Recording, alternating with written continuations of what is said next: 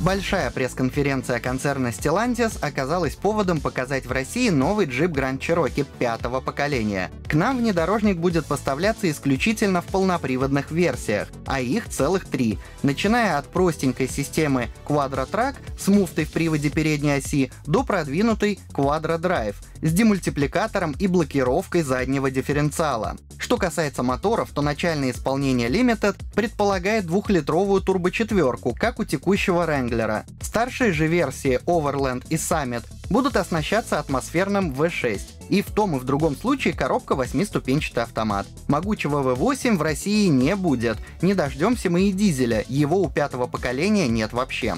Цены раскроют позже, причем первый к нам придет двухрядный вариант, а к концу года довезут и удлиненную семиместную машину. Начнем продажи мы этой машины в э, четвертом квартале этого года, но сначала мы э, должны будем получить короткую версию, пятиместную, и начнем, по крайней мере, сейчас план такой, чтобы машину мы получили уже в третьем квартале и начали ее продажи.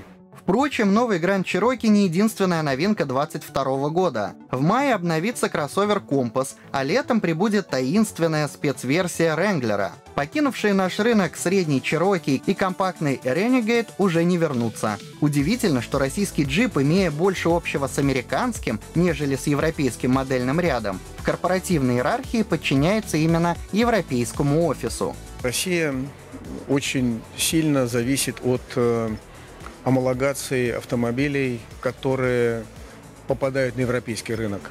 Затраты на амалогацию, сертификацию продукции, они очень-очень велики. И мы можем быть только лишь частью общей программы, как Россия, как часть Европы, при выводе на рынок тех или иных моделей. И если Европа принимает решение э, отказаться от какой-то модели, то нас это точно заденет. Конечно, мы не могли не спросить открыто, выйдут ли в России топовые внедорожники Jeep Wagoneer и Grand Wagoneer. Мы зависим от европейского рынка.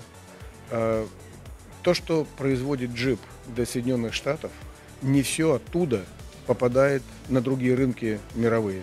Добавим, что, несмотря на усыхание гаммы с 5 до 3 моделей, в прошлом году дилеры джипа продали в России чуть больше полутора тысяч машин. Это на 4% больше, чем в 2020.